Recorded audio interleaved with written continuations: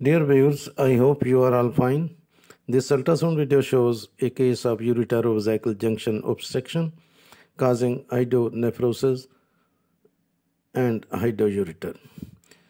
You can see the patient is a 8 years male child and you are seeing the right kidney which is echo normal and this kidney, kidney measures about 8.6 centimeter into 3.3 centimeter. Now you can see the left kidney and it shows moderate to severe hydronephrosis with hydroureter due to the obstruction of the ureter at ureterovesical junction. This is the left kidney and you can see the severe hydronephrosis and the kidney is measures about 18.0 centimeter into 9.7 centimeter with cortical thickness of about 0 to 5.7 5.4 millimeter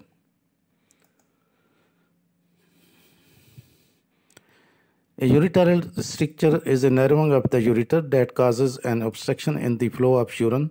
This narrowing causes an obstruction in the flow of urine. It can also be caused by kidney stones, upper, upper urinary tract inflammation, uh, inflammation, or a tumor.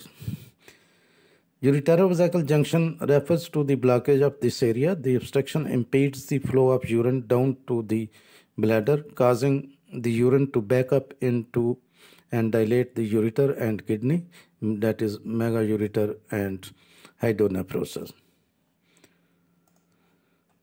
Ureterovesical junction obstruction will cause moderate to severe hydronephrosis with hydronephrosis and hydroureter. Now you will see the left kidney and the tracing of the ureter. Now you will see the, the as the ureter is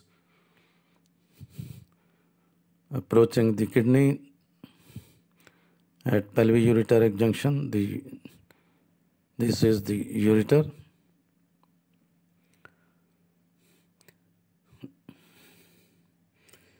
As the benign prostatic Hypertrophy is so common in older men. Obstruction is more common among men. Other common causes of obstruction include strictures, that is narrowing caused by scar tissue of the ureter or urethra that develops after radiation therapy, surgery, or procedures done on the urinary tract. But in this case, the patient has is a child having no history of surgery a junction obstruction is blockage of this area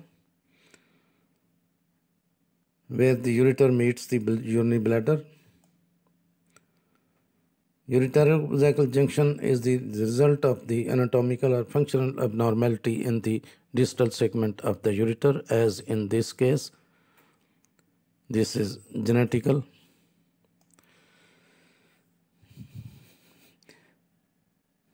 The ureter of ureterovesical junction is located where the ureter, the tube that drains urine from the kidney, meets the bladder. Ureter of Ureterovesical junction obstruction refers to blockage of this area. As you can see, the left ureter is approaching the urinary bladder and at this point you will see the stenosis, stenosis of the ureter Sometimes stones that block the ureter or any of the kidney drainage tubes may cause symptoms that include severe intermittent pain in the upper flank that can radiate to the lower abdomen. Nausea and vomiting usually results. Treatment of the ureteral stricture may include surgical implantation of a stent to open the narrowed section of the ureter are minimally invasive robotic surgery to reconstruct the urinary tract. The goal is to fix the stricture permanently and avoid the long-term uses of stents whenever possible. Ureteral obstruction is, is the blockage in one or both of the ureters that carry urine from the kidney to the urinary bladder. Ureteral obstruction can be curable, however, if it is not treated, symptoms can quickly move from mild pain, fever, and infection to severe loss of kidney function, sepsis. Urinary, ureteral obstruction is fairly common because it is treatable, severe complications are rare.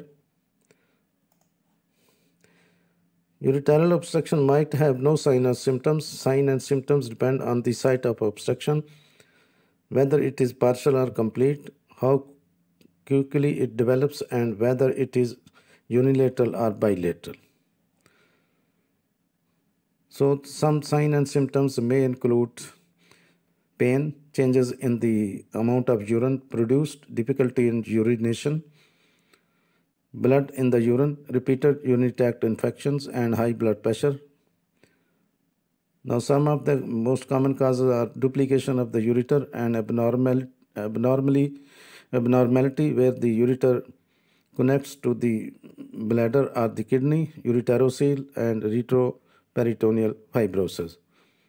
Other possible causes may include ureteral stones, severe constipation, which is most mostly seen in children but also occur may occur in adults, cancerous and non-cancerous tumors, internal tissue growth such as endometriosis in females. Long-standing swelling of the ureter ureteral wall, usually due to the disease such as tuberculosis or the parasitic infection called schistosomiasis.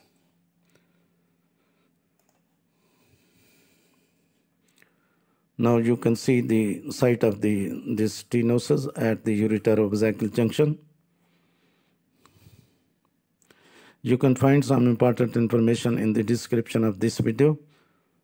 Thanks for watching. Please subscribe my channel. If you do like this video, please click the like button. Thanks.